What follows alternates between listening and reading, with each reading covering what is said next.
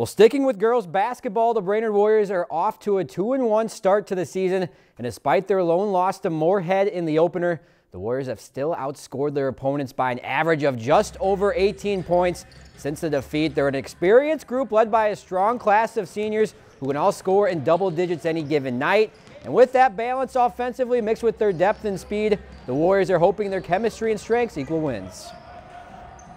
We're very quick. We're all pretty small, but we pressure and we're good on on-ball defense. So we try to make turnovers and get fast breaks. We've been playing together for a really long time since fifth grade basically so we know each other really well and we have like a good sense of the court and like we know where each other's going to be and it's just a lot of fun because we've been playing so long together. The Warriors on the road tomorrow night. They take a trip to undefeated Fergus Falls. If you've enjoyed this segment of Lakeland News, please consider making a tax-deductible contribution to Lakeland Public Television.